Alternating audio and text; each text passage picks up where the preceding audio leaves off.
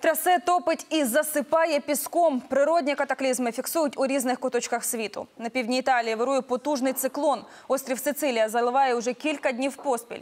А в Австралії навпаки посуха. Через відсутність опадів піщані дюни наступають на будинки. У цей же час на Канарському острові Ла-Пальма рахують землетруси. Минулими вихідними було щонайменше 80 поштовхів, і вони лише підживлюють вулкан. Леся Красун усе покаже.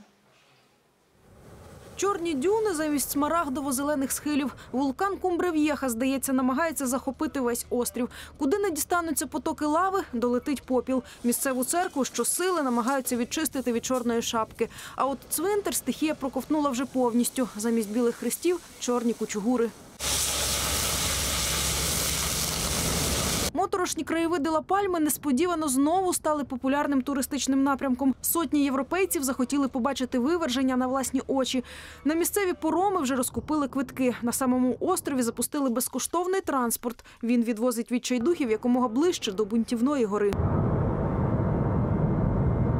А в Італії тим часом потоп. Понад 40 прохань про допомогу за останню добу отримали сицилійські рятувальники. Люди застрягали у своїх автомобілях чи навіть будинках. У Сиракузах авто засмоктало під міст. В Катанії вода повністю затопила міські дороги. В регіоні зачинили навчальні заклади та державні установи.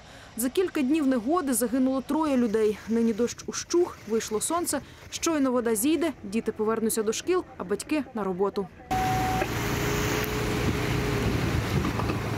А це австралійське містечко затока Фавлерс. І на нього невпинно сунуть піщані дюни. На узбережжі раніше селилися лише заможні люди. Надто вже гарні краєвиди відкривалися з вікон. Саме їхні будинки захопило першими.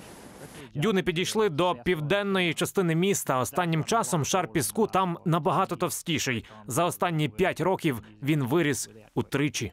Регіон, де розташоване містечко, потерпає від постійної спеки та суховіїв. Кожному дощу мешканці радіють як свято. Аби бодай якось захистити своє місто від наступу дюн, місцеві мешканці висаджують на схилах кущі та дерева. Однак в піщаній пустелі майже нічого не росте. Леся Красун, програма Вікна СТБ.